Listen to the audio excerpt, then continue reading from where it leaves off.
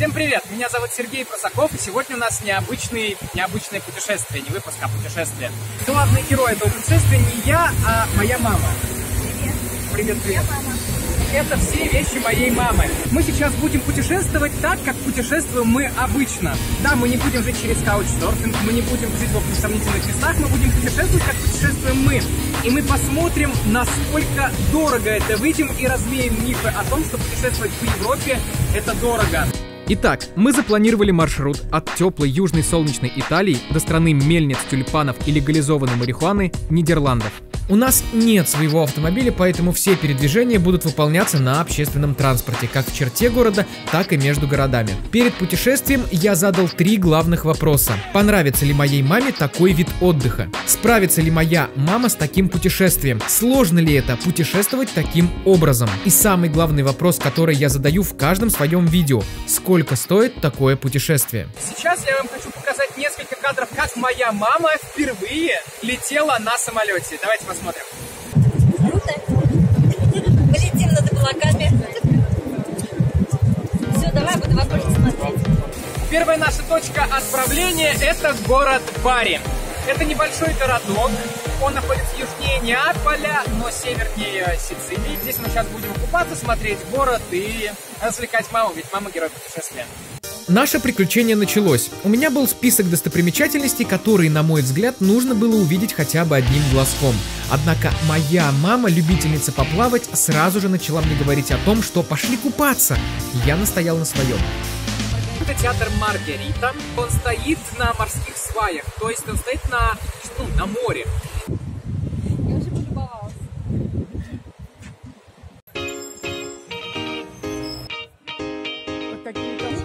Белье навешено.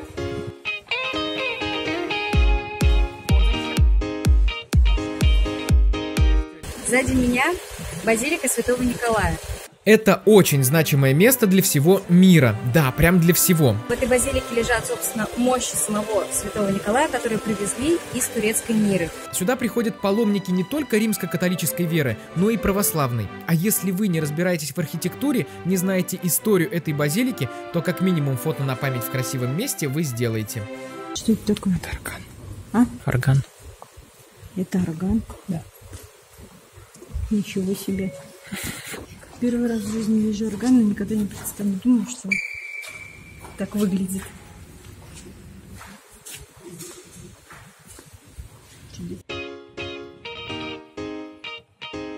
Как тебе, Барри? Соли в картошку не хватает. Собор Святого Сабина. Это второй по величине собор после базилики Святого Николая. И он построен в 13 веке на месте византийского храма. Красивое место, рекомендую посетить. Однако, если вы, как моя мама, хотите купаться, то лучше идите и купайтесь. Что ты хочешь? На море. Я понял, ма, все, идем на море.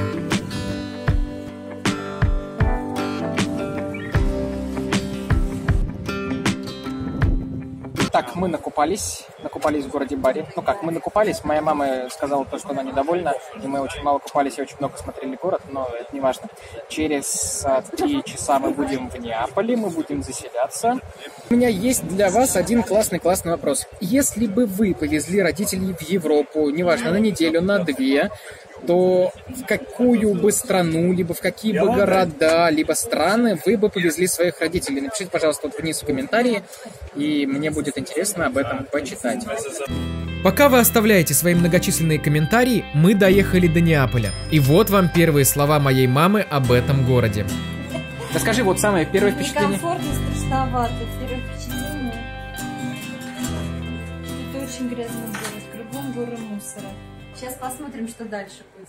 А куда мы идем? Куда мы идем? Гулять по Неаполю. Ну, кушать. Только нигде горы мусора. А здесь везде горы мусора практически. Будем искать чистые кварталы.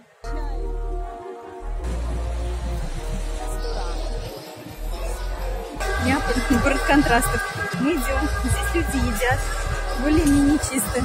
Но стоит зайти в какую-нибудь подворотню, мне становится страшно от количества мусора. Он, наверное, весь сводится в эти маленькие переулочки. Сейчас мы пойдем есть пасту. Я ем. Что я ем? спагетти А, карбонара. спагетти карбонаре. Карбонара. Карбонара? Да, ну давай, ну пробуй. хорошо, пусть будет карбонара. Ну и главное, теперь, что ложку не принесли. и теперь рассказывай, как на вкус. Недоваренные. Они такие должны быть. Может быть. Пробовала А можно уже? сейчас стырить одну макаронину? Конечно, можно. Ты тоже нас можешь стырить. А, нет, я уже держусь.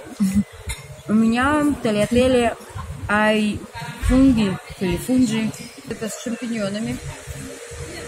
Вот, я попробовала сначала, ну, немножко жирноватый соус, как по мне. Но вообще, конечно,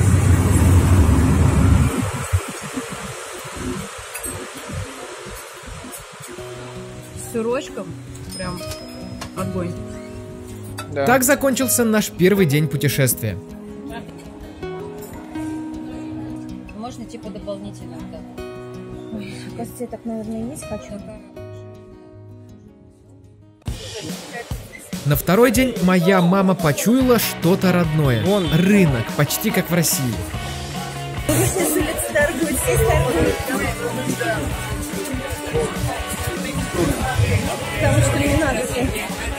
Ну, все хорошие штанишки. Смотри, какие штанишки хорошие, тоненькие. Сегодня мы идем смотреть Неаполь, сам город. Вот эта вот пиццерия, она известна тем, то, что в нее пришла, покушала Джулия Робертс в фильме «Ешь, молись, люби». Вообще, это одна из первых пиццерий в Неаполе. Считается, что здесь она одна из самых-самых вкусных вообще пиц, которую готовят. Тут небольшая очередь. Хотя, как я читал, здесь очереди прям большие-большие. На самом деле, э, не такая уж большая очередь. Сразу хочу сказать, то, что Неаполь – это родина пиццы, поэтому зайти в это заведение – это просто обязательно. К этому заведению мы еще вернемся, потому что это действительно стоящее место. А пока я расскажу вам про интересные места Неаполя. Кастель Нуова, новый замок по-другому. Галерея Умберто I в Неаполе. Замок Делева. Он построен в пятом веке нашей эры, то есть сейчас он существует уже 15 веков. Его построил Карл Анжуйский в первой половине 13 века. Эту галерею построили в 19 веке для того, чтобы облагородить квартал. За эти 15 веков он был, соответственно, замком, который оберегал сам Неаполь, потом он стал монастырем, потом все это превратилось в дело в тюрьму. Высота башен больше 50 метров. Это позволило замку сдержать несколько, даже несколько множество осад. Потом все стало виллой, и сейчас это музей. Вы поняли, что в Неаполе достопримечательностей достаточно, и их действительно тут очень много. Если бы я рассказывал про каждое из них, то никакого времени не хватило бы. Вбивайте в гугле, что посмотреть в Неаполе, и вам все покажет. А знаете, что сделал Карл Анжуйский? Он взял и перенес столицу из Палермо в Неаполь. Поли, поли, политанцам, поле, поле, полермянцам это не очень понравилось. А неаполитанцам, наверное, нормально сошло.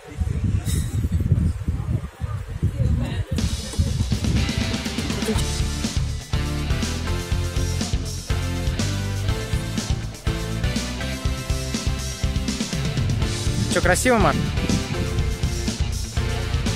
Когда ты такие вопросы задаешь, все восхищение куда-то пропадает. Сейчас мы находимся в самом центре Неаполя, это сердце Неаполя, называется площадь плебисцита.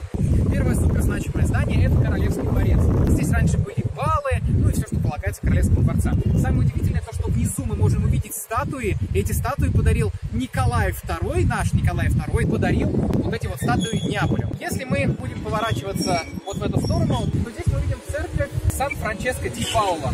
Эта церковь строилась как аналог римскому пантеону. Я понимаю, что небольшая историческая справка может быть скучной, но тогда, придя в это место, для вас это будет просто обычным местом Италии. Хотя нет, вы сделаете фотку, подписав «Я в Неаполе». Однако моя история точно уже успела надоесть моей маме, она все рвалась купаться. Моя мама пошла посидеть в тенечек, и она хочет на море. Я к тому, что я задолбал ее своей историей. Но я не мог ей это просто не показать, потому что мне нужно это показать, как это я приехал в Неаполь и не посмотрел самый, самое сердце Неаполя. В итоге мы отправили маму купаться, а сами пошли смотреть город.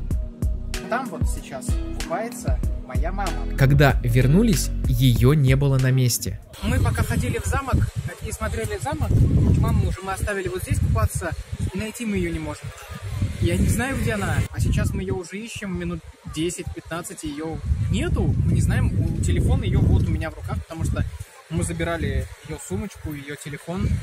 Ее нету, я даже не знаю, как теперь ее искать. Мы действительно ее потеряли. Обошли все близлежащие места по несколько раз. Спустились к пляжу. Потом мы уже решили разделиться с Аней, чтобы поиски были еще эффективнее. И тут я подхожу снова к пляжу. Вижу, как Аня несет мамину одежду. Саму маму я не наблюдаю. Но раз одежда найдена, то и мама тоже. Спускаюсь вниз. Вижу людей вокруг мамы. Что-то случилось. Я распорола ногу. Сильно? Сильно. Камень. Докупалась? Упалась. И давно ты распорола ногу? Нет, минут 20 назад. Как мы 20 минут назад пришли? Мы тебя тут искали, ходили. Вот этот итальянский дядечка перебинтовал моей маме ногу и вообще оказывал первую медицинскую помощь. Конечно, мы, а в первую очередь моя мама, были благодарны ему. Короче, он говорит, что это может открыться, что надо, во-первых, поменять повязку, и что лучше, конечно, открыться. И сказал, купаться нельзя. Купаться нельзя, сказал? Толпу, говорит, собрала. Умею толпу собрать. Хотелось бы не таким способом. Вот если посмотреть вот туда вот, вот это вот Везувий. Вот я его сейчас пройду. Опчик, опчик. Это Везувий. Вообще, у нас в планах была поездка до Эркалана. Там есть удобный пляж, Геркуланум, и вообще это отправная точка на Везувий.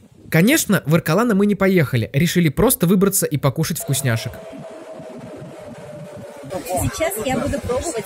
О, подожди, подожди, я не могу так быстро пробовать. Я это ем первый раз, поэтому мне надо загадать желание. Хорошо, загадывай. О, я хочу, чтобы я завтра не обгорела на пляже, чтобы мне за ночь зажила нога. А ты скажи, что ты ешь там. А, я буду пробовать канолу, канолу, канолу. канолу. Это типичная сицилийская сладость.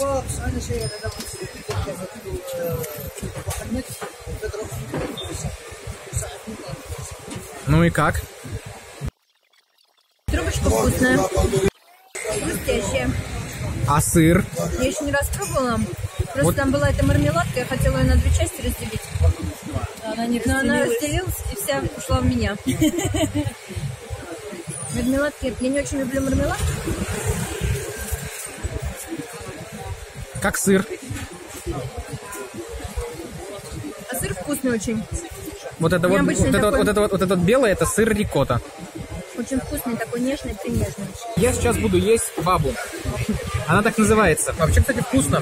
Удивительно, выглядит немножко жирновато, как будто. Но на самом деле оно нежно, прям вот это тесто все тает во рту.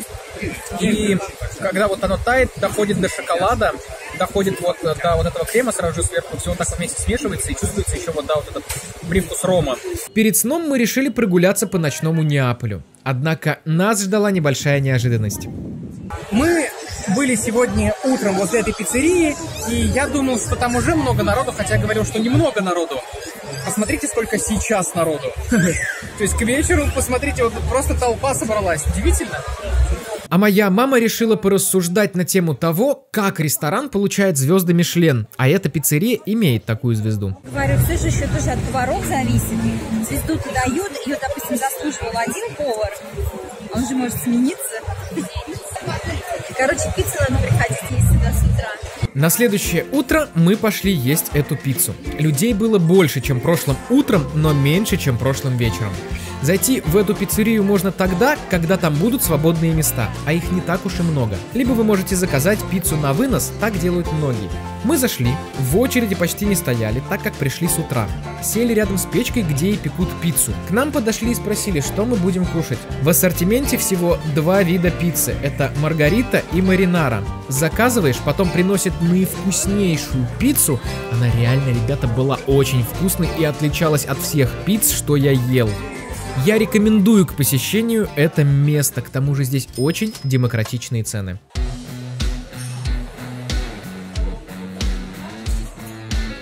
Недалеко от Неаполя находится курортный городок Соренто. В первую очередь туда мы ехали купаться. Да, я напомню вам, что моя мама поранила ногу, а итальянский дяденька сказал, что лучше не купаться. Но любовь моей мамы к морю куда сильнее. С моря очень классный вид здесь. Прям такая скала, и в вот прям гостиница вписана. Она прям так вот они прям брови со стеной вообще. Но это с моря надо смотреть. с морем. Заплывите. Это небольшая рекомендация моей мамы. Мама фигни не посоветует. Вот где надо жить. Теперь я буду говорить Соренто. Город моей мечты.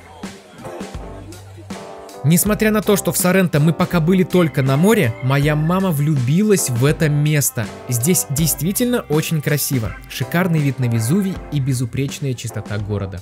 Не то, что красиво, это вообще супер красиво. Это напоминает, знаешь, мне кого? Судак. Ты была в Судаке? Там тоже такие горы, горы. Это в России? Конечно. У нас в Крыму. Моей маме Соренто очень и очень понравился. А что лично я могу сказать о Соренто? Это курортный городок, он очень чистый, очень красивый, и здесь очень много туристов. Пляжи практически все платные, но есть несколько бесплатных. И на эти бесплатные пляжи, ну вот на котором купались мы в черте города, он, так скажем, ну совсем маленький, совсем небольшой, за не выплывай. Остальные бесплатные пляжи есть, но до них нужно добираться. Мам, перебивай меня, пожалуйста. До них нужно добираться. Опять же, повторюсь, моей маме здесь понравилось. В принципе, действительно, город намного чище, чем Неаполь. Он вообще просто чистый. Но он просто курортный. Но все-таки же это Соренто. Вот, виды потрясающие. Здесь вот просто Везувий можно увидеть. Здесь красивые горы, красивое Тиренское море. И сам город находится на отвесной скале. То есть он действительно красив. И у самого городка такая э, интересная история. Здесь э, жил Вагнер, здесь жил Гёте, Ницше, э, Стендаль. Горький даже тут жил. Я считаю, что это город обязательный для посещения. Ради всех этих прекрасных пейзажей, чтобы, глядя на них, отдыхать душой и телом. Думаю, моя мама объяснила вам все куда быстрее и понятнее. Смотри, как вообще подсвечено солнышком, вообще супер, да? Мы гуляли по Соренто. Моя мама восхищалась каждым уголком этого города. И наконец-то она была прям счастлива. Может, она просто накупалась вдоволь? Однако, спешу заметить, что мне Соренто не так зашел, как моей маме. Я считаю, что в этом небольшом городе уж слишком много туристов и высокие цены. Что касается цен, здесь все примерно раза в два, в три дороже, чем в Неаполе.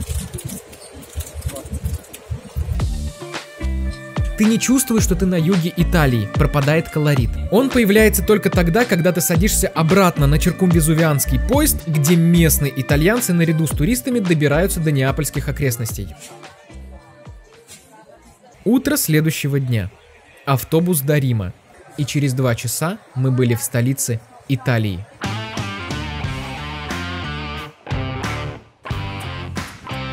Наверное, это самое узнаваемое место Рима, а, Колизей, Арка Константина. Знакомьтесь, Арка Константина, ее построил, соответственно, император Константин и построил ее в честь своей победы над Марком Аврелием. Он ее построил, сказал, христианство это классная, замечательная религия, и перенес свою столицу из Рима в Константинополь. Зачем правильно ему столица в Риме, если можно перенести столицу в город имени себя?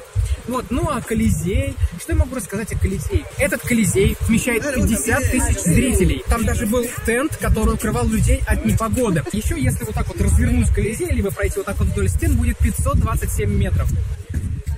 И еще вам расскажу один интересный факт про Колизей. Точнее, не про Колизей, а те, кто стоял рядом с Колизеем. А стояли там торговцы, и они продавали под гладиаторов и животных. Люди действительно покупали их, потому что считалось, что это к удаче. Я не знаю, что они с ним делали, наверное, мазали себя, но это вот такой вот факт есть. Давай, поделись впечатлениями о Колизее на фоне Колизея. Шикарный, могущественный. Умели строить люди в древности. Не то, что сейчас. Да, этим ткнешь. Скажи что-нибудь о Колизее. Он красивый, но зря его достроили. Какими-то кирпичами непонятными.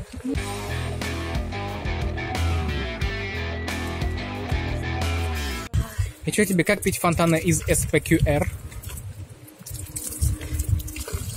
Что ты брызгаешься? Не брызгайся.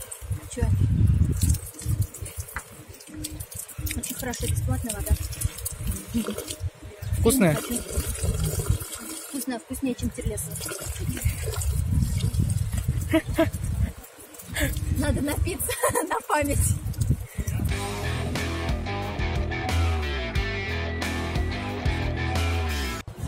Очень красиво. И все? чувствуется итальянское могущество. Вот она, Римская империя. Что позади тебя находится? Не знаю, площадь какая-то. Венеции. А? Площадь Венеции. А площадь Венеции? Площадь сама по себе ничем не примечательна, поэтому здесь поставили Витериана. Вот этот памятник архитектуры в честь короля Эммануила II, служащий символом объединенной Италии. Очень красивый Внутрь Витериана можно зайти, и это абсолютно бесплатно. Там проходят разные выставки, перформансы, показы. Они выглядят как реальные картины. Я вообще не понять не могла, это проекция или настоящие висят. Расскажу вам один интересный факт. Всем известно, что римляне любили кровавые зрелища. Эти кровавые зрелища перешли и в театр. То есть, если актер должен был в конце умереть, то он реально умирал. То есть, это была его единственная роль. Стоит ли посвящать время на просмотр всего этого? Думаю, что если у вас достаточный запас времени в Риме, то определенно да. Ходим, смотрим картины. Только ничего не понимаем, все на итальянском. Вот старинный телевизор. Наверное, первый телевизор, выпущенный в Италии. Что здесь написано? В 56 году. Когда мы двинулись дальше смотреть Рим, то наткнулись на небольшую акцию протеста, которая проходит более мирно, чем у нас. Что-то написано. А потом мы пришли к месту, я-то знал, что это за место, но если посмотреть издалека, то будто какая-то группа дает рок-концерт, и огромная толпа людей смотрит на все это дело. Хотя в центре внимания знаменитейший фонтан Треви. Как видите, народу здесь просто тьма тьмущая. Мы сюда пробирались просто как на рок-концерт. Я вам расскажу о том, как произошло это название Треви. Есть две легенды. Первая легенда это то, что здесь сходятся три улицы, и поэтому Треви, три, три недалеко, поэтому так и назвали. Есть еще одна легенда. Девушка по имени Тривия подсказала строителям, что вот тут течет классный источник. Они построили здесь фонтан и назвали в честь этой девушки, которая подсказала. Вы уже поняли, что это очень популярное место Рима, поэтому не рекомендовать его я вам не могу.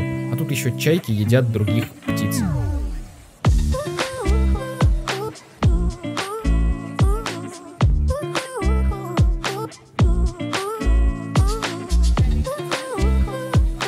Моя мама любит фонтаны, поэтому она попросила сфоткать ее, а дальше было... Я тебя могу пока на видео снять. А туда можно? Уже нет это, Смотри, мама- дороги назад. Мама моет. А зачем пьет воду-то? Воду-то не- нельзя. пить нельзя. Нет, нет, нет, нельзя пить, не надо. Только если сполоснуть. Ой. Надеюсь, не умру.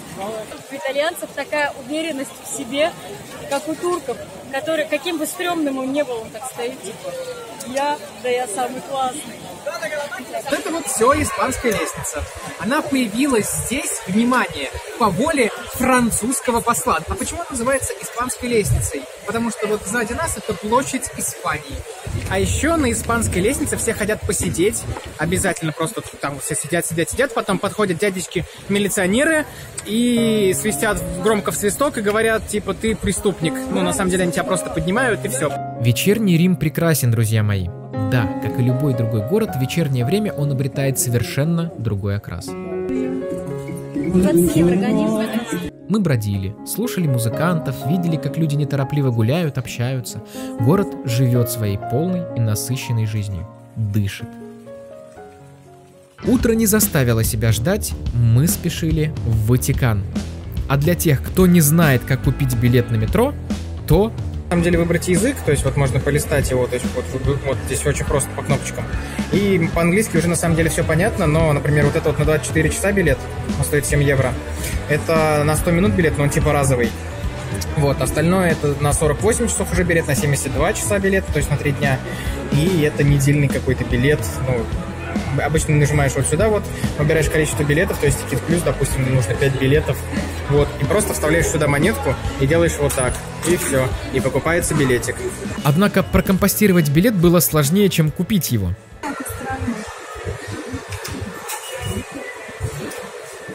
Ну и чё?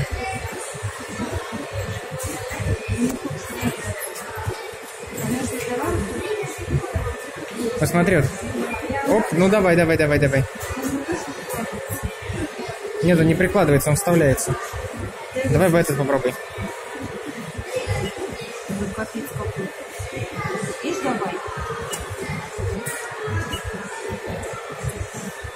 Uh, excuse me, can you help? Ага, окей, окей. Вставляй давай. Thank you. Удивительно, но очереди в Ватикан не было. Может, мы попали в такой день непопулярный. Мы сейчас находимся в музее Ватикана. Очень интересно, не знаю, что там. Будем смотреть.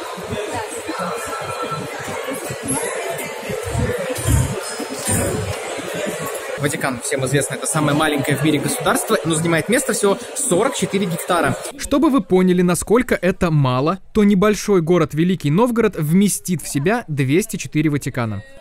Население Ватикана чуть больше 800 человек. То есть действительно это крошечное маленькое государство. Однако музей Ватикана несет просто в себе неимоверное какое-то богатое культурное и историческое наследие. И на осмотр, если вот пристально подходить, вот, вот, вот здесь вот, каждая вот статуя, вот здесь вот статуя вот здесь, если пристально подходить к каждой статуе, все это дело изучать, то может уйти реально там недели, потому что здесь столько всего. Что-то мама меня зовет. Чего, мама? Где тебя надо сфотографировать?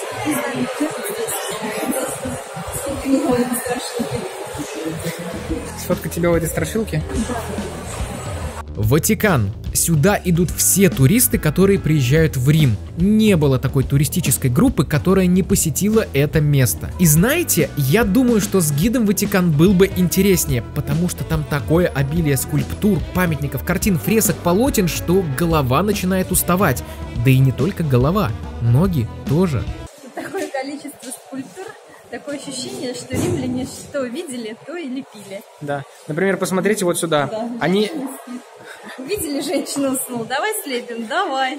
Видели собака воет, давай слепим, давай. Бабушка на кресту села, да, бабушку слепим, давай. Так что же из себя представляет Ватикан? Это поток идущих людей, в который ты попадаешь и двигаешься вместе с этим потоком в одну сторону, осматривая попутно миллионную достопримечательность. Со временем коридоры со статуями будут меняться просторными залами с другими статуями или лепнинами. Однако народ вам не даст почувствовать, что вам просторно, и весь этот поток движется к своей конечной цели – Сикстинской капелле. По подсчетам, э, Сикстинскую капеллу в день посещает около 15-20 тысяч человек в день. Я тут провел нехитрый расчет. Вход стоит э, в музей, самый дешевый, самый обычный, самый простой, а, 17 евро. То есть, если мы возьмем 15-20 тысяч человек в среднем, так, умножим на 17 евро, то получим около 20 миллионов рублей. Мы сейчас в Сикстинской капелле.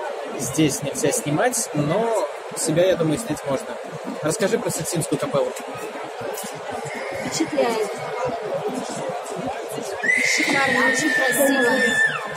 Ладно, ладно, я не удержался и снял небольшой кусочек этой самой Сикстинской капеллы. А если вы не знаете, чем известно это место, помимо множества библейских сюжетов, то, думаю, фреска сотворения Адама вам много что скажет.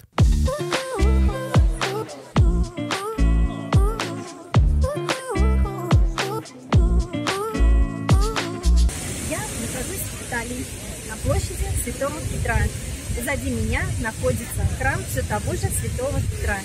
Очень величественный, очень могущественный. Вообще все шикарно.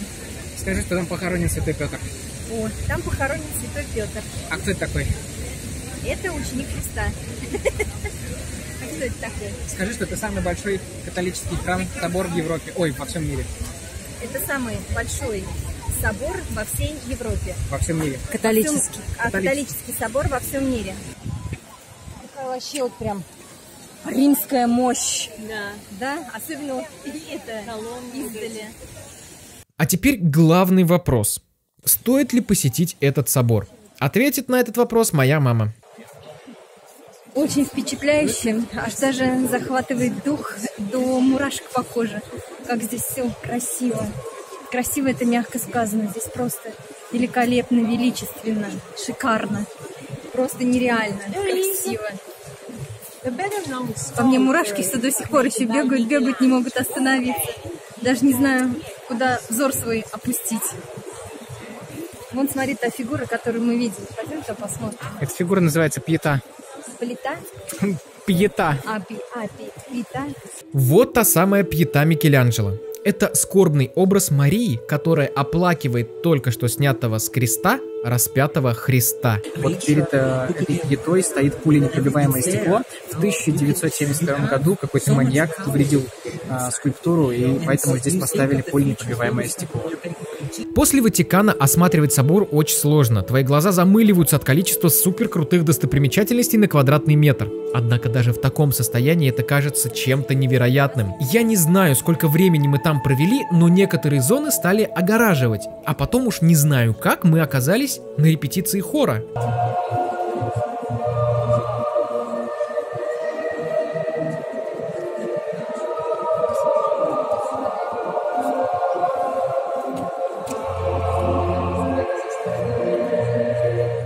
Ну а сейчас минутка супер важной информации. Это та самая информация, которая легко зайдет в голову после такого обилия достопримечательностей. Это Аня побежала смотреть бобра. Она ни разу не видела бобра. Вот, вот, вот. Вот Аня бежит. Вот, мама говорит, что это не бобер. Э, на секундочку, дело происходит в Риме. Э, вот замок Сан-Анджело, а вот Аня бежит смотреть. Ань, помаши ручкой. Что-то говорит. Пойдем посмотрим.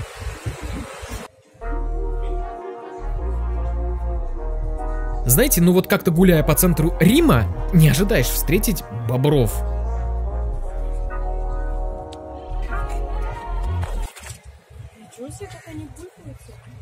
Ну, нутку смотри, жахнул. Мы окончательно втянулись в атмосферу города. Чувствовалась усталость, поэтому мы просто ловили наслаждение, бродили по городу, смотрели его красоты. Вы представляете, моя мама впервые в Риме. Ей здесь интересно все.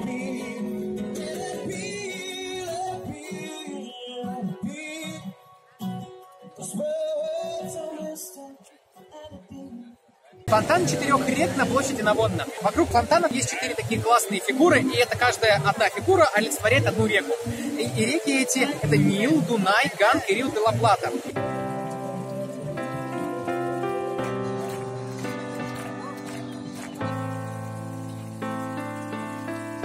Сегодня это последняя достопримечательность, в которой мы, к сожалению, не успели. Она закрывается в 19.30 и вход туда бесплатный. Сейчас время 19.50. Это пантеон, это храм всех богов. И да, и мы туда не успели. Что сказать? Ну, грустно, печально. Сегодня последний день, и это последняя достопримечательность, потому что нам нужно собираться ехать в другой город. Представляете? Вот уже настал шестой день путешествия, и начался он с небольшой неожиданности. Когда мы приехали во Флоренцию, мы спросили Сережу, а долго нам еще до Флоренции? Сережа говорит, еще час. И когда автобус тронулся, Сережа такой, ой, кажется, это и была Флоренция. Поэтому мы сейчас едем в Верону. Так, так, стоп. Давайте я вам поясню, почему я сбаклажанил. Вот тут Флоренция. А вот тут остановка автобуса. Мы прибыли в нужное нам место за час до времени, которое указано в билете. А автобус, оказывается, просто этот час там стоит. Вот и едем мы теперь в Верону. Там была не Флоренция, там была рядом с Флоренцией. Ну, как бы станция это была наша. Наша. Ну вот. Я и не отрицал свою ошибку, а думал, как ее исправить. Благо в автобусе был Wi-Fi, и я нашел Блаблакар с Вероны до Флоренции. Красота неописуемая. Это Апеннинские горы. Проезжаем мимо них.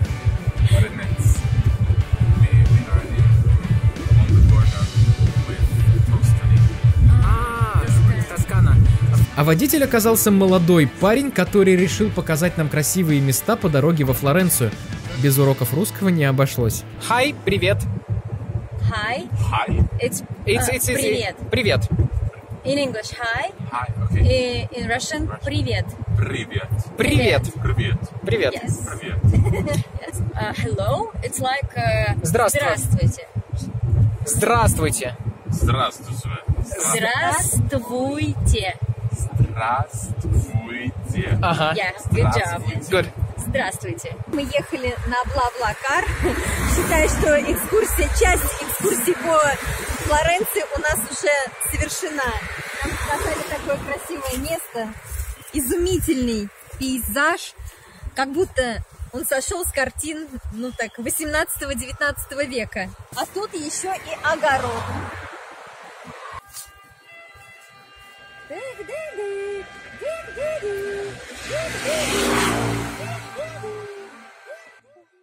Однако дорога явно вымотала как маму, так и Аню. Настолько вымотала, что мама захотела показать вам место, где мы живем. Мы попали в хороший номер. Пойдемте. Это Пойдемте. наша кухня. В ней есть все, что нам надо. Холодильник. Холодильник. Кухня-мойка. Газовая плита.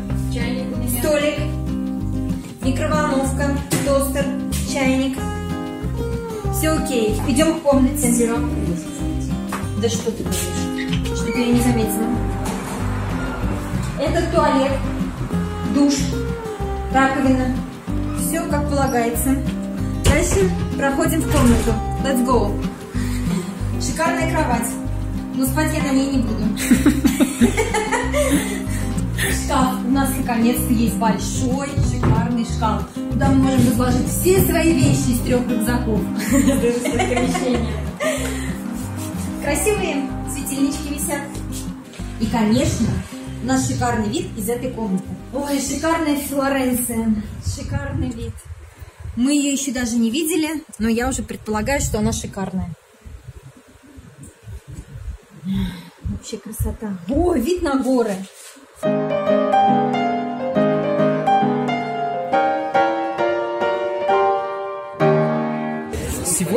1 сентября. Сегодня воскресенье.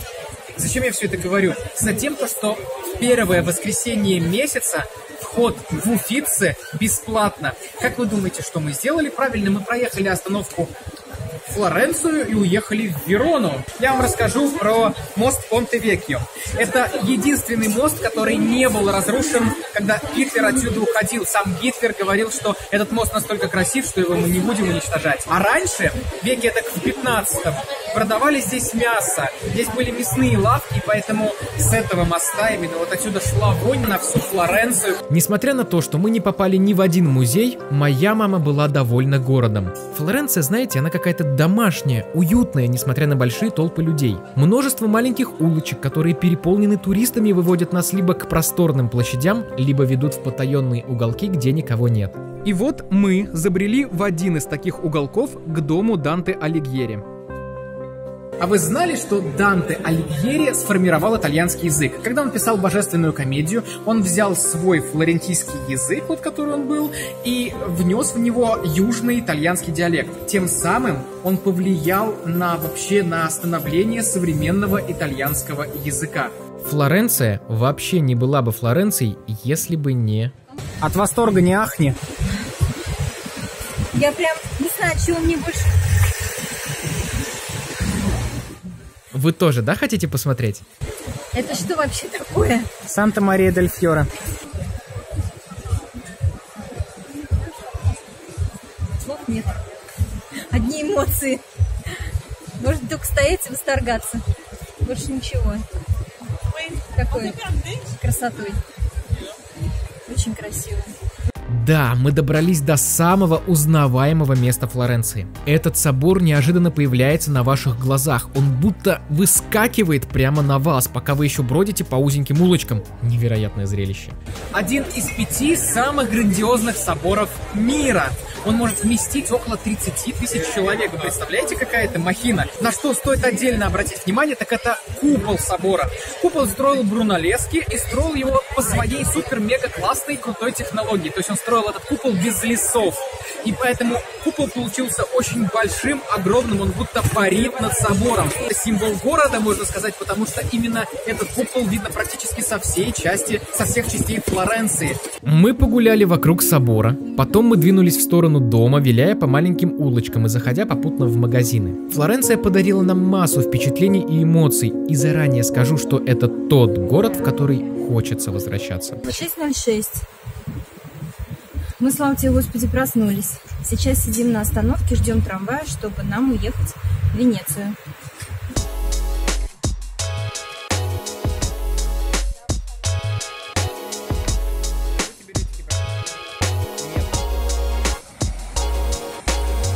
Мы приехали в Венецию, а точнее в город Местре, который находится прям вот на границе с Венецией. Почему мы приехали именно сюда? Потому что здесь жить намного дешевле, чем в самой Венеции. Это вам небольшой советик, потому что отсюда доехать до Венеции очень и очень просто. Мы приходим вот в эту табакерку и покупаем билет за полтора евро, либо за 3 евро туда-обратно. Автобус 4L довезет вас до Венеции за 20 минут. И вот что сразу откроется перед вашими глазами.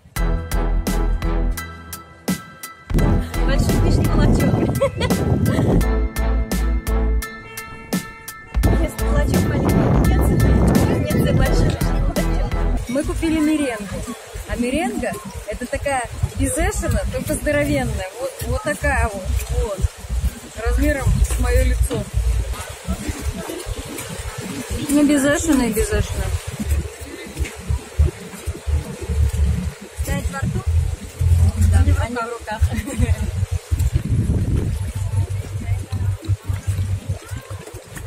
Какая-то скользкая, как будто мыльная. Ну как бы сюда какают люди? Чего? В смысле, чё? Я руки. Большинство людей, как только они оказываются в Венеции, идут к главной площади, осматривая по пути туристические места. Однако, я скажу вам, что здесь есть пространства, которые рядовой турист смотреть не будет. И вот одно из них. Это место называется еврейское гетто. Посмотрите, здесь вообще пусто. Здесь никого нет. Но зачем же тогда я сюда пришел? Только здесь мы можем увидеть самые высокие дома в Венеции. Их называют венецианские небоскребы, и они могут доходить аж до 8 этажей. Почему бы первым местом не показать гетто? Самое то, что хотела бы моя мама. Почему называется еврейское гетто? А, здесь раньше был плавильный завод, и от этого завода был шлак. Шлак на итальянском будет гетто. Соответственно, здесь были евреи и был завод, и получилось еврейское гетто. И показав ей почти безлюдную Венецию, мы направились к центру. Дороги, чтобы вы знали, это небольшие лабиринты, так что если у вас нет карты, вам будет сложновато ориентироваться на местности. По пути мы заходили на всякие выставки, пробовали конфеты, благо пробовать тут можно много и самое главное бесплатно. И вот, наконец, попав в поток людей, мы вышли к волшебному, красивому, просто необычному в своем роде месту. Я не мог не спросить, мам, как тебе это место? Я еще не поняла. Это один из самых главных мостов. Я, кстати. Это один из самых главных мостов. Ну, вот здесь вот начало такое красиво, а вот вверх какой-то, ну, И все же, это один из самых главных мостов, с которого открывается прекрасный вид на Гранд-канал. Гранд-канал Венеции. Это самый большой венецианский канал. Он начинается от самого въезда в город и заканчивается в Венецианской лагуне. Раньше вдоль этого канала проходил торговый путь, потому что позволял кораблям безопасно проходить все эти участки, и поэтому очень-очень много домов строились как раз возле этого канала. На этом мосту вы больше простоите в очереди, чтобы сделать фото, а фотографию сделать хочется. Ну а мы идем дальше. Давайте посмотрим на эмоции моей мамы, которая входит на самую главную площадь Венеции.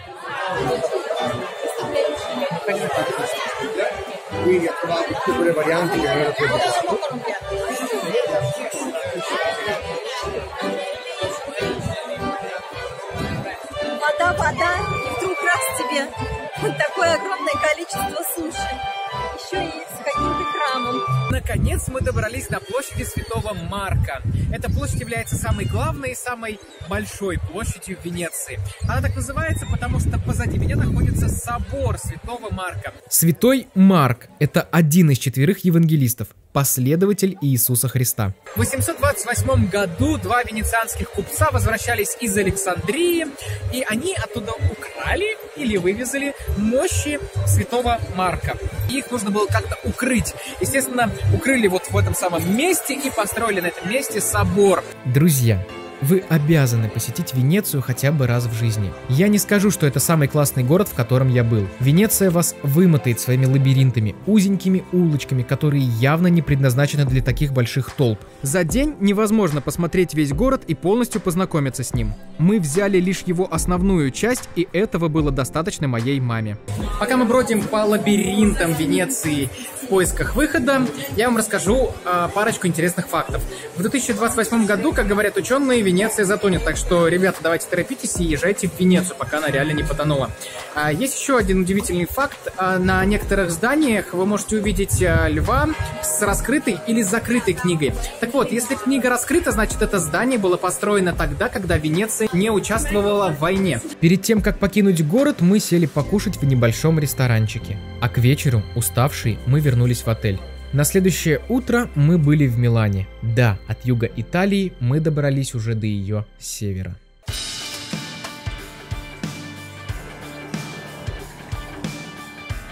Что у вас ассоциируется с Миланом? Верно, шопинг. Однако не нужно думать, что Милан беден на достопримечательности. Да. Друзья, я никогда не думал, что я скажу это. В Милане есть такая площадь, которая называется Дельи Афари. И на этой площади установлен памятник Факу. Памятник среднему пальцу. Памятник стоит ровно напротив фондовой биржи. Изначально он должен был простоять всего 48 часов. Время давно истекло, а памятник на месте. Чё красивое, грандиозное такое масштабное здание. У тебя все здания грандиозные и Все красивые. грандиозные, вообще супер-пупер, одну краше другого. Жилья в Милане у нас не было, поэтому мы ходили со всеми своими вещами. И пока сил было достаточно, нужно было показать основу основ. Дома. Кафедральный собор Милана – это то здание, которое находится позади меня. Оно сделано полностью из белого мрамора и является не только самым красивым в Италии, но его и признают самым красивым в Европе. Я внес бы эту площадь в какой-нибудь топ мест, которые стоит посетить. Рядом с собором находится галерея Виторио Эммануэля II. Это одна из самых старых торговых галерей в мире. За ней находится, наверное, самый известный оперный театр Ласкала. Недалеко от него стоит могущественный замок Сфорца. Этот замок пережил господство Наполеона и испанское владычество, представляете? А здесь есть вот музей, как раз где творил Леонардо да Винчи. И очередь тут неимоверно большая. Все любят Леонардо, кто же не любит Леонардо? Именно в Милане находится монументальная роспись Леонардо да Винчи «Тайная вечеря». Вот в этом соборе. И это малая часть того, что есть в этом городе. Вернемся на площадь, где я удивлялся огромному количеству голубей. Вот, видите, здесь очень и очень много голубей. Подходят э, черные к тебе, предлагают купить кукурузу, лезут в камеру, то есть ты фотографируешься, они прям вот просто вот лезут в камеру, тебя руку купи, мол, кукурузу, и ты покормишь голубей, а они реально голуби будут есть прям с рук. Да, это может быть красиво, но а, немножко портит впечатление, потому что, ну, блин, я хочу сфотографироваться с собором, там, может что-нибудь рассказать, а тут просто приходят черные. Еще они могут намотать тебе на руку веревочку и сказать, типа, мол, 2 евро, поэтому они тебе уже намотали и извини. Кстати, жилье в Милане мы специально не искали, потому что жилье нас ждало в Париже.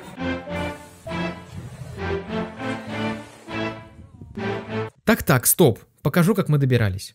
Мы прилетели ночью, можно посмотреть на время, 0024. Вот, и мы выбираем, допустим, да, вот нам нужно ворота, это, сколько нам нужно человек? Три человека, да?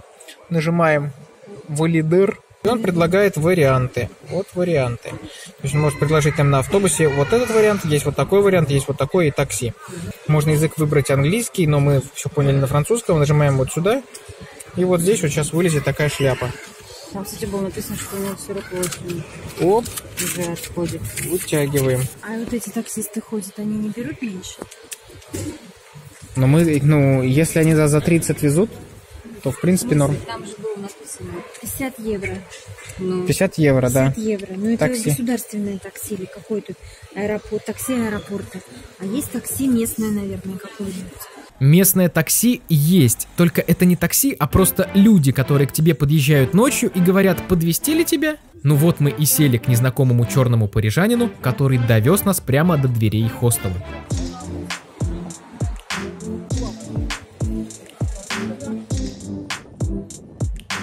С утра сил больше, поэтому начали мы с подъема на холм. Отдых одна минута. Слишком высокий подъем. Это я это, на пятый этаж поднимаюсь, пятиэтажка. Давай, мы последний пролет, и тебя будет, и ты будешь вознаграждена. Видишь? Я взяла Эверест.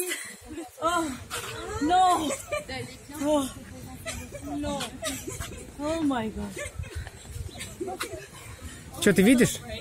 Я уже видела, да. Ну и что, и как тебе? Ну, красиво. Когда я впервые увидел Сакракер, мои эмоции были совершенно другие. Первое место в Париже, которое мы посетили, это Сакрé-Кёр. В переводе дословно означает «святое сердце». Эта базилика находится в районе Монмартр на самой высокой ее точке. Построили, построили, камень на камне. На строительство ушло более 40 лет. И вообще построен он не из камней, а из особых минералов, которые белеют под воздействием воды. Однако, когда мы поднялись к самой базилике, маму наполнили другие чувства. Что сказать? Батюшки, красота какая. Весь город как на ладони. Может быть, не весь, но больше его часть. Хотя я не знаю, где какая часть.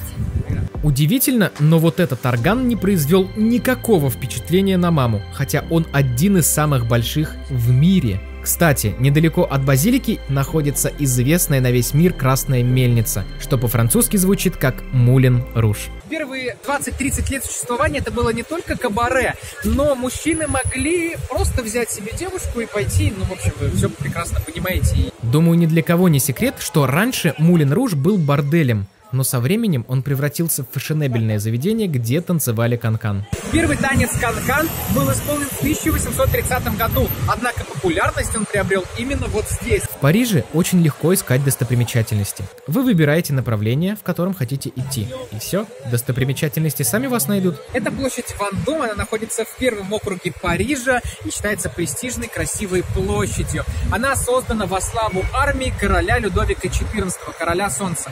Да, в Париже не строили просто так. Обязательно что-то кому-то да посвящено. Вы спросите меня, почему я еще до сих пор не отвел свою маму к самым главным достопримечательностям? Лувру, Эйфелевой башне, Триумфальной арке. Скажем так, я оставлю самый сок на потом. Пусть мама привыкнет к Парижу, к его атмосфере, к его людям, движению, к площадям, коих здесь тьма тьмущая. И о самой главной площади я просто не могу не сказать. Площадь Согласия – это самая большая площадь в Париже. С нее можно увидеть и Елисейские поля, которые заканчивает Триумфальная арка, Эйфелеву башню, дальше там Тюильри идет, и дальше Лувр. То есть с нее можно увидеть такие значимые места Парижа. Когда Людовик XV заболел, очень тяжелая болезнь у него была, и когда он поправился, то все парижане, они радовались, праздновали и поставили ему здесь памятник. Поэтому площадь сначала называлась вообще ни разу не Согласие. Она называлась Площадь Людовика XV. Но после эту статую снесли и сказали, что это площадь революции. Поставили в центре гильотину и казнили здесь людей. Говорят, что было казнено около 1119 людей, и среди них был Робеспьер, Людовик XVI, Мария Антуанетта и еще много-много известных личностей. В центре поставили обелиск, который перевезли из ФИФ. На обелиске указано как раз, как перевозилась, картинками показано, как перевозился этот обелиск. Потом начали формироваться углы площади, она же восьмиугольная, как вы считаете, и на каждом углу стоит а, такая статуя. Эти статуи символизируют один из французских городов. Она немножко шумная, да, здесь ездят машины, но это замечательная площадь, потому что такое ощущение, что ты стоишь в центре мира, представляете? Вы видите Триумфальную арку, вы видите Эйфелеву башню, тут Лувр под боком, тут классные фонтаны. Дальше у нас было три основных пути. И вот какой мы выбрали. Раньше эта территория была ничем не примечательным. Это были просто поля. Да, сейчас это Елисейские поля. Именно вот это вот главный, главная улица, главный проспект, который соединяет площадь Согласия и Триумфальную арку. В 1616 году Мария Медичи подумала, что такая территория красивая, что это такие за пустые поля. И она сказала, давайте-ка проложим вот здесь вот красивую дорогу. Вот и проложила одну из самых известных дорог в мире. Вообще, перед посещением Парижа, да и Франции в целом, я рекомендую почитать Александра Дюма. Например, граф Монте-Кристо купил себе дом на Елисейских полях, когда это место было еще совсем пустым и неизвестным. К вечеру мы добрались к одному из самых узнаваемых памятников в Париже, это Триумфальной арке. Ее заказал сам Наполеон. И он сказал то, что арку нужно построить такую, чтобы отразить величие его армии, величие империи. И арочный проем настолько большой, что через него после окончания Первой мировой войны прилетел Чарльз Готфри на самолете. И если честно, пока мы добирались, я подзамерз, потому что вот если в Италии было жарко, то сейчас вот здесь прохладно. Поэтому, уставшие и довольные, мы поехали в хостел. Короче, мы приехали сюда на такси, и когда мы сказали название, ну, как бы, хостела, таксист знал его. Мы такие, ну, как бы, ну, прикольно, да. И я сначала подумала, как он знает название какого-то просто, какого-то хостела, одного среди многих. А потом мы сюда приехали, и вот что мы увидели. Мы заходим в типа просто хостел. А это нифига не просто хостел. Это, тут вообще такая вкуса, прямо бар.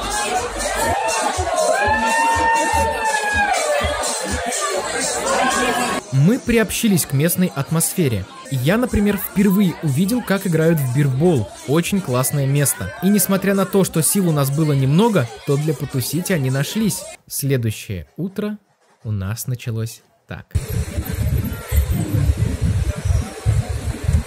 Вот она, главная достопримечательность Парижа. Ну чё, как тебе? Ну, башня. И все? Ну, Эйфелева. Ну, в Париже.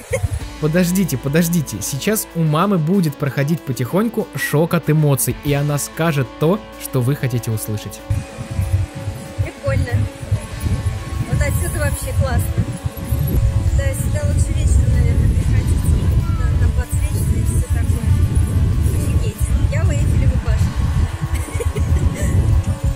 С каждой секундой эмоций у моей мамы становилось все больше и больше. Стою, снимаю, никого не трогаю. Вдруг такой пух, залп. Я же даже испугалась. А это как из пушек фонтан полил. Вообще классно. Вам видно, наверное. Китайцы собрались маленькой группой по 5 миллионов человек фотографироваться с Феррари. Вот она. Можно я влезу в кадр? Что ты хочешь сказать? Хочу фоне Феррари. Моя мама тоже влезла в кадр. Эйфелева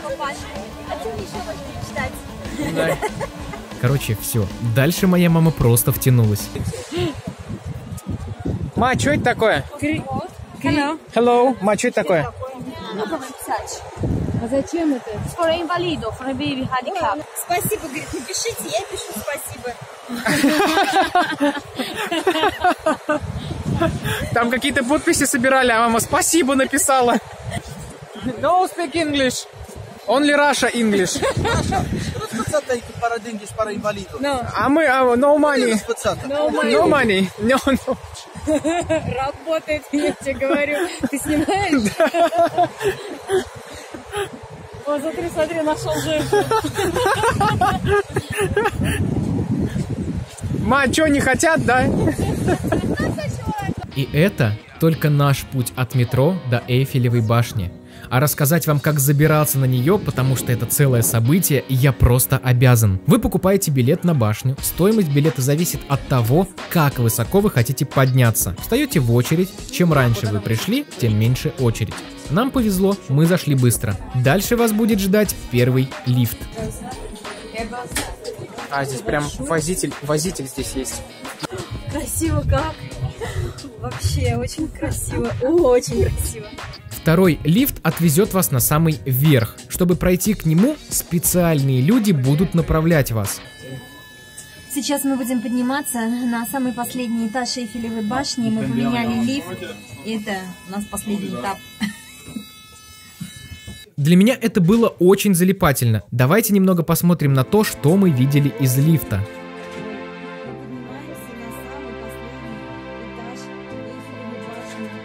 Вы приезжаете вот в такое закрытое пространство. Однако, конечно же, можно выйти наружу. Друзья, сказать, что здесь просто офигительно красиво, это ничего не сказать. Мне не хватит всех слов, чтобы описать вам эту красотищу. Это реально что-то сногсшибательное. Вот она самая верхушка Эйфелевой башни, можно сказать. Здесь очень красиво, невероятно красиво. Конечно же, много людей, которые здесь фотографируются, но вот такие вот виды открываются позади меня. Вот тут вот так вот. Но я сейчас вам, конечно же, покажу другой вид. Смотрите, вот.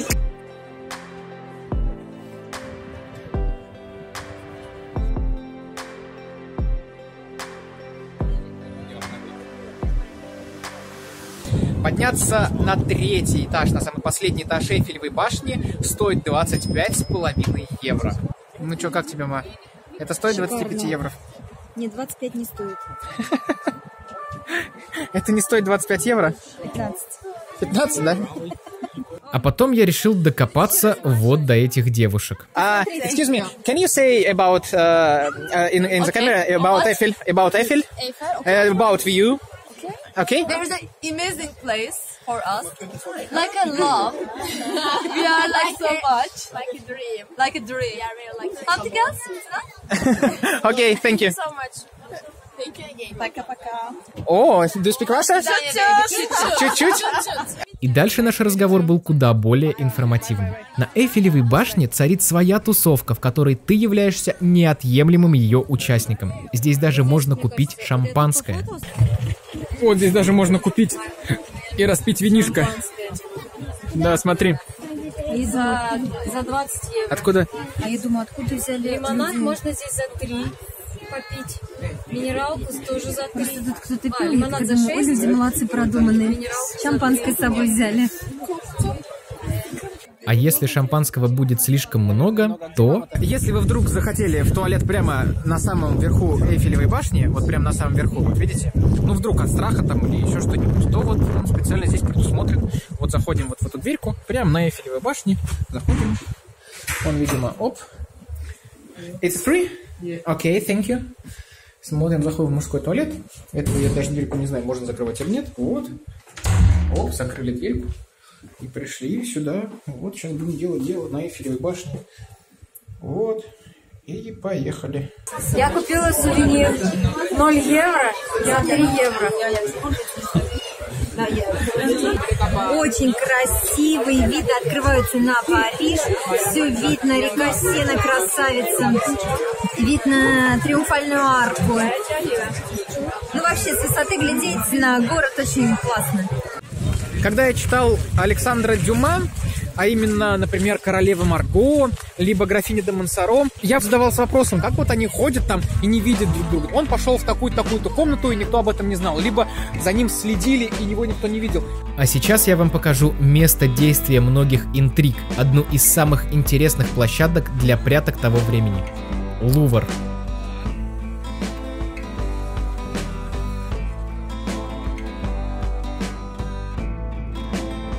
Наконец, в середине дня мы добрались до Лувра. Вот он, здоровенный Лувр. И здоровенным он стал не сразу. Сначала это была крепость, и крепость была в 12 веке. И только в 14 веке подумали, наверное, это центр Парижа, давайте сделаем дворец. Да, Лувр это в первую очередь дворец, где сидели короли, а не вот эта пирамида, которая является входом в музей. Когда ее поставили, общественность негодовала, мол, зачем стеклянная пирамида, она же вообще не вписывается в архитектуру Лувра. Но потом общественность привыкла и подумала, ну, в принципе, это правильно, да, что Лувр вообще не затронут, а вход в музей выглядит так красиво. Но здание идет, идет, идет, идет, оно не прекращается вообще ни насколько. Вся площадь, считай, состоит из одного здания. Мы сидим на Лувре.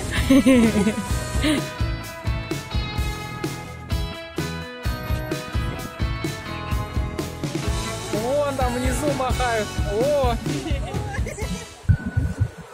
Это одна из первых церквей в Париже. Она построена в шестом веке нашей эры. Нашей эры. Э, Эта церковь называется церковь Сен-Жермен. молодец. Скажи, что раньше крыша была позолочена. А? Скажи, что раньше крыша была позолочена. Раньше, раньше крыша у нее была позолоченная, а сейчас Нет. Париж – город большой. Расстояния, которые мы преодолевали пешком, были большие. Усталость сказывалась. Как это не удивительно, мы идем по мосту, который называется, ну по-русски, он называется Новый мост. Так вот, фишка в том, то, что это самый старый мост в Париже. Этот мост ведет на остров Сите, старейшую часть города. Удивительно, как может меняться статус здания. Вот, например, позади меня находится консьержи, и изначально он строился как дворец, и этот дворец заказывал Филипп Красивый. Но со временем этот дворец резко превратился в тюрьму. И первым узником по злой иронии стал тот, кому было поручено строительство этого дворца. Именно здесь находилась в заточении Мария Антуанетта. Колоритное место, вы поняли, да? Блинная, блинчиковая, с велосипедом. Так, приехал на велике, поделал блинчики, уехал. Вишенка на торте – это Нотр-Дам-де-Пари, конечно же. Только моя мама не застала его целым. Что может гореть-то там пожара? Причиной пожара, как думаю все уже знают, стали работы по реставрации здания. На момент путешествия подойти к собору было невозможно, так как решетки и заборы, выставленные по периметру, не давали пройти. Это была последняя крупная достопримечательность, которую мы посмотрели, двинули к хостелу и наткнулись на это. Это, это вообще что? Как это, как это называется? А встань, ну, скажи, встань. О. Так закончился наш день в Париже. А следующий начался вот так. Смотри, сорвала что-то. Так, мама в Брюсселе ворует цветы. Ну-ка, расскажи. Я не знаю, приживется или нет, конечно. Ну, надо будет Что ты сделала? Своровал цветок. Ворованное лучше приживается. Да я это положу к тебе в, в этот Я не вор. рюкзак. Носи с собой. Мне бы еще один, конечно. Ну, сорви еще. А тут окна. Вот так мы и начали просмотр Брюсселя. Кстати, цветок растет теперь у мамы дома. Брюссель не может похвастаться столь большим количеством достопримечательностей, как, например, Рим или как Париж. Поэтому у нас сегодня больше будет, конечно, гастрономический такой тур, но все же здесь есть, конечно, отдельные достопримечательности, которым стоит и следует уделить внимание. Например, сзади меня стоит собор Святого Михаила. Место рекомендую к посещению. Как минимум вас сведут с ума обалденные витражи. Еще советую сходить и посмотреть на Королевский дворец. Мама была довольна. Кустики аккуратно пострижены, в форме каких-то там. Кустики кругленькие, кустики квадратные, кустики, не знаю, какие еще. В общем, так все очень красиво. А вообще, даже если вас не интересуют дворцы и церкви, то по Брюсселю просто прикольно гулять. И вот вам пример.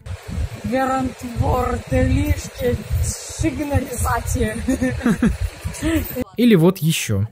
Сколько там? При... Посчитать? Или... Нет, на я наугад. А, 20. 24.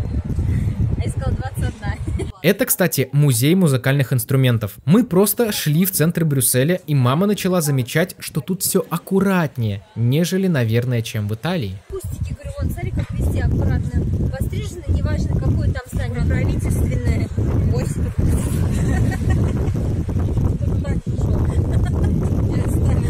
Правительственное, там какое все обычное здание. И эта аккуратность маме нравилась. Я уже сорвала. А, это он и был. Что ты сорвала? Ничего.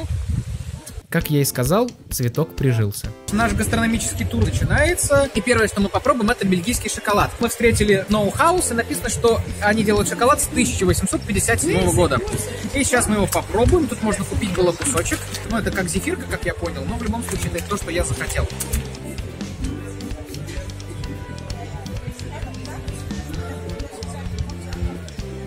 Это совершенно другое. Зефир, конечно, такой не, не купите в магазине. Шоколад, во-первых, очень вкусный. Он, он не магазинный. Сама зефирка, она как будто ты ешь облако. Ну, Я даже не знаю как. Оно воздушное, прям вот воздушно-воздушно-воздушное. Вот, ну а печенька, вот печенька как печенька. Все мы знаем, что Бельгия славится шоколадом. Так вот, в Бельгии работают больше двух тысяч магазинов шоколада. Здесь даже есть шоколадные кафе, в которых вся еда включает шоколад. Например, суп из шоколада. А мы тем временем пошли пробовать то, что составит конкуренцию всем белорусам. Картошку. Картошка вкусная, немножко другая. Не знаю, как объяснить, но она другая. Бельгийцы, они обижаются, когда называют эту картошку фри. Она другая, и сейчас я буду пробовать, насколько она другая. Она другая. Знаете это?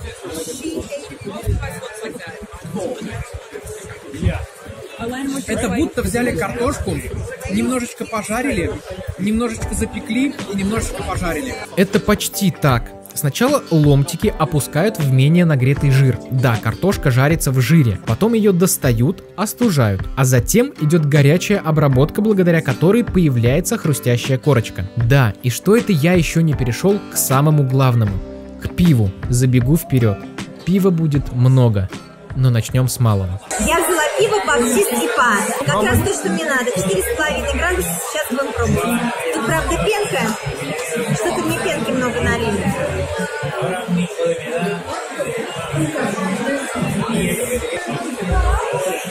Холодное, но слегка горчит.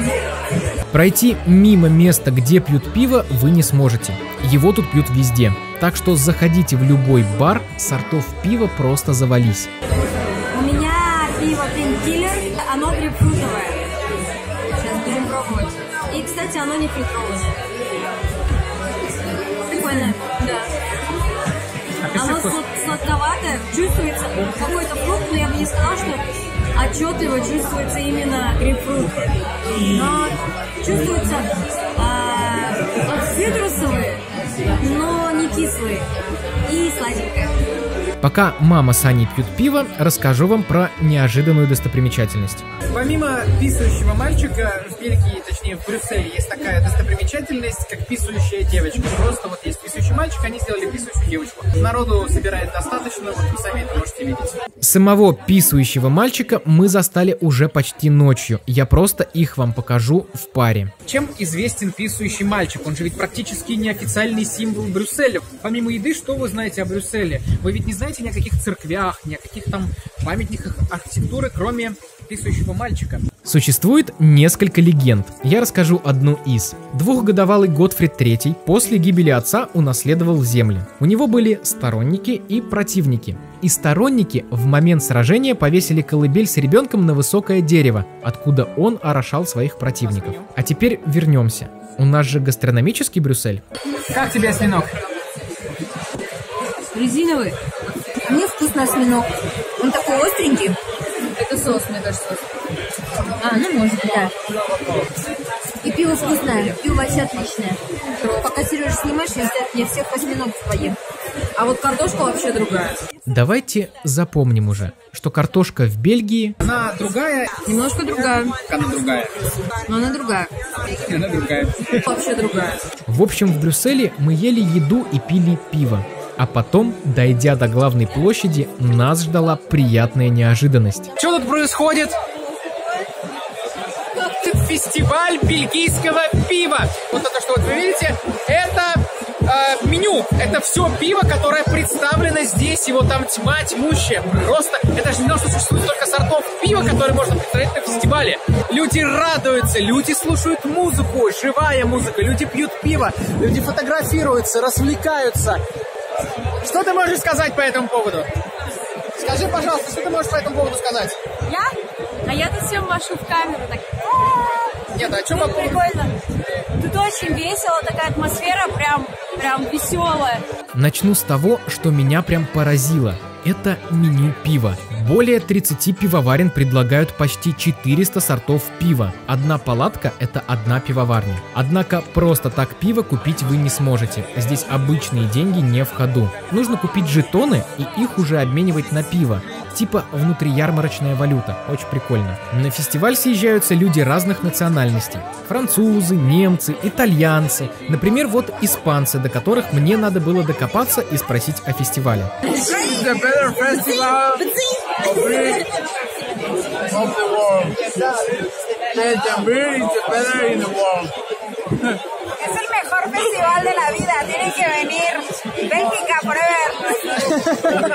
Здесь даже английский не нужен, чтобы общаться. К тебе просто могут подойти и начать говорить с тобой. Ты ему что-то отвечаешь, оба смеетесь. Живые эмоции, как говорится. И нас толком не понимают, и мы толком не понимаем. Короче, налили нам просто пиво. Потом я попросил сказать пару слов о фестивале девушку, которая являлась представителем одной из пивоварен.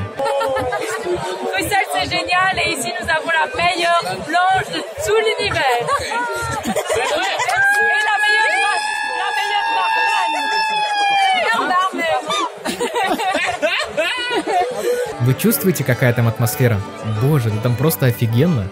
Это один из самых классных моментов в моей жизни. Я думал, что мой английский так себе. Однако на этом фестивале я говорил одновременно сразу на трех языках, умело переключая их в нужную минуту. И понимали мы друг друга только благодаря эмоциям. И это сближает всех участников фестиваля. Ты не чувствуешь себя лишним, ты чувствуешь, что тебе хорошо. Тебя принимают в эту большую семью и говорят «Веселись, радуйся». Just the world. You need to come into spot to actually get best out of it.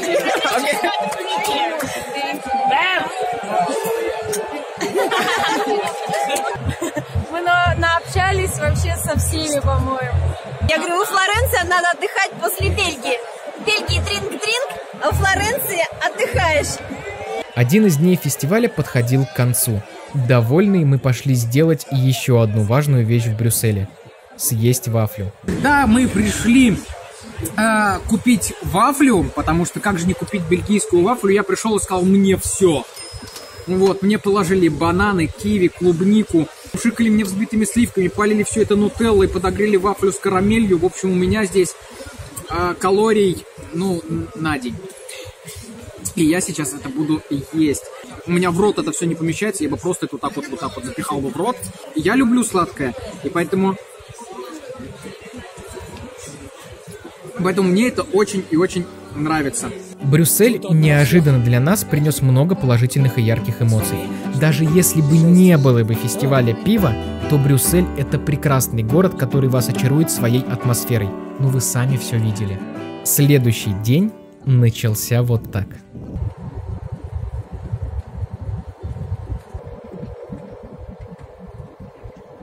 Последняя точка нашего путешествия.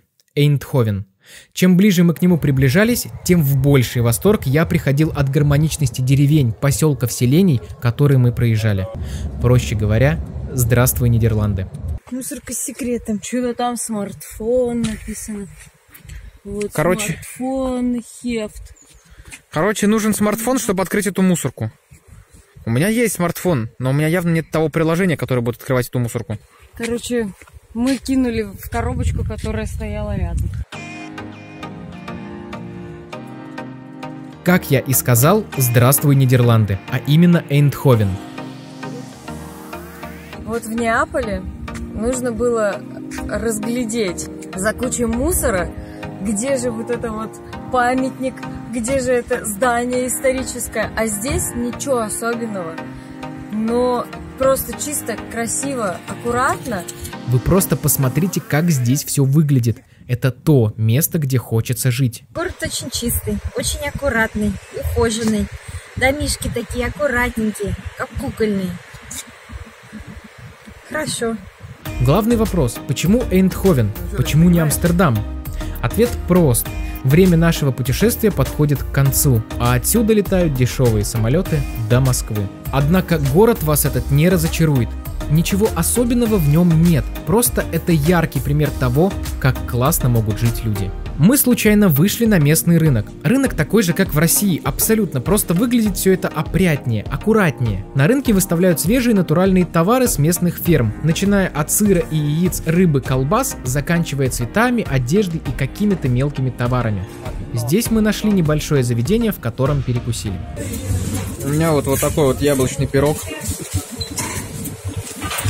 Взял яблочный пирог? Яблочный пирог у бабушки ешь.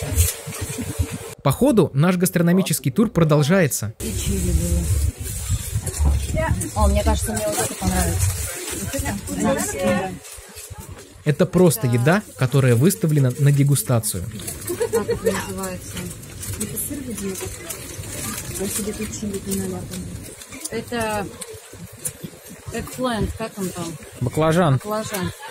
Рынок окружен магазинами. В одном из них мы купили себе еды в самолет. Мы купили самые большие чипсы. Смотрите. Та-да! Если вы думаете, что в Эйндховене некуда сходить, то вы совершенно ошибаетесь. А, Компания Philips образовалась здесь. Соответственно, здесь есть музей этой компании. Он находится ровно позади меня, и вы туда обязательно должны сходить. В городе есть футбольный стадион, который построила компания Philips. Это домашняя арена футбольной команды PSV. Расшифровывается как спортивный союз Philips. Я знал о такой команде PSV, но никогда не додумался, как же расшифровывается PSV. Оказывается, это просто, ну, первая буковка P, она и есть типа Philips. Вот так. И прямо от стадиона до аэропорта ходят скоростные автобусы. Скоростные они тем, что у них не просто выделенная полоса, а отдельная дорога, по которой могут ездить только такие автобусы. В аэропорту Эйндховена есть классная зона. Можно сюда выйти, покушать. Она называется, ну, по-моему, как-то панорамная зона, типа панорам, панорамные виды. И здесь действительно очень-очень красиво, потому что ты кушаешь, а вот тут вот садятся самолеты, взлетают самолеты, ты за этим всем делом наблюдаешь. Очень-очень классно. И пока мы ждали свой самолет, я решил задать вопросы о нашем путешествии маме и Ане. Я тебе сейчас задам 12 вопросов. На них нужно отвечать как можно быстрее и меньше думая. Хорошо. Готова? Да, Готова? давай. Какой город тебе понравился больше всего из этого путешествия? Флоренция. Не думай. Возможно, Флоренция. Ага. Самое вкусное, что ты ела в путешествии. А, Первый... Блин, нет, это было в Сицилии. Блин, я вообще не помню, что я ела. Что мы вчера ели? Вот эта штучка. Осьминоги и рыбу? Гляри. Рыбы и похвала. А вчера рыба с картошкой. Ага. Самый запоминающийся момент из путешествия из этого. А, Фестиваль пивной. Как я купалась в море. Мгм. А, какая страна тебе больше понравилась? Именно страна. Трудно выбрать. Наверное, все-таки Италия. Бельгия. Потому что пивной фестиваль? Нет, там просто было как-то очень весело. Этот вопрос не входит в все 12. Ага, поехали дальше. Какая достопримечательность тебе больше всего запомнилась? Может быть, я не знаю. Мне понравилась Венеция. А, ну, наверное, Эйфелева башня. Венеция в смысле того, что там много воды. Э, э, Либо храм Петра, но внутри больше. Либо собор Санта-дель-Флора. Фьоре. Фьоре. Хорошо, мы Я не знаю, что из этого выбрать больше. Наверное, собор Святого Петра. Петра. Да, внутри. Хорошо. Какие трудности были в путешествии? Я, кажется, ты, наверное, понимаешь, да, про что? Я поранила ногу. Чуть-чуть был конфликт с языком. Не конфликт, а трудность была с языком. Когда мы вышли с Эйфелевой башни, и кто-то сбаклажанил. В голове трудно еще переводить. К концу путешествия уже проще, а вначале было тяжело э, переводить русские деньги в евро. Какое мнение у тебя сложилось о европейцах? Очень вежливые, спокойнее в плане, э, как сказать, то есть они могут быть эмоциональны, но они доброжелательны. Оно мне еще не сложилось. Обычные люди. Хорошо. Поехали дальше. В какое из посещенных мест ты бы захотела вернуться? Захотела вернуться. Из посещенных мест. Флоренция, Эйндховен э, и Брюссель. Рим, Флоренция и... Ну и все. Что вообще думаешь о Европе? Тут красиво и цивилизованно. Тут хорошо, но дома лучше. М. А, что ты думаешь о путешествии? Я думаю, что это очень круто.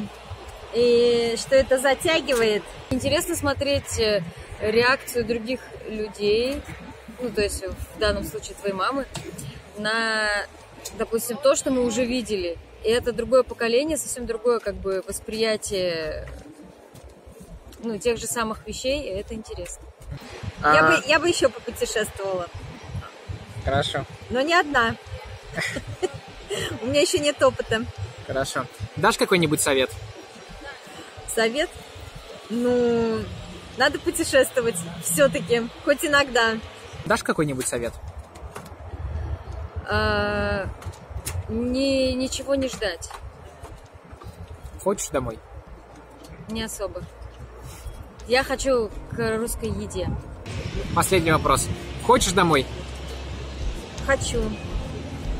На этом наше путешествие заканчивается. Мы начали свое путешествие на юге Италии, городе Бари. Купались в одном из самых темпераментных городов – Неаполе. Восхищались собором Святого Петра в Риме, любовались Флоренцией, блуждали по Венеции и проникались духом Милана. Смотрели на Париж с Эйфелевой башни, попали на фестиваль пива в Брюсселе и удивлялись аккуратности голландцев. А теперь самый главный вопрос, который я задавал в начале. Сколько денег мы потратили? За все наше путешествие мы отдали 36 813 рублей на человека. Из них 11 410 рублей стоимость жилья, 6 944 рубля дорога между городами и остальные 18 459 рублей все остальные расходы. Еда, сувениры, достопримечательности. Да, я записывал все наши траты и условно поделил их на три, потому что нас было трое. Кто-то из нас потратил чуть больше, кто-то чуть меньше. Если вы отправитесь в такое путешествие один, то ваши траты будут больше, как минимум потому, что снимать отели втроем выгоднее, чем одному. Ну да, это нюансы. Хотя вот вам важный нюанс. Во время путешествия евро стоил 70 рублей. И траты были рассчитаны по курсу в 70 рублей за евро. Я не включил в стоимость самолета из Москвы и обратно, потому что цены на авиабилеты постоянно меняются.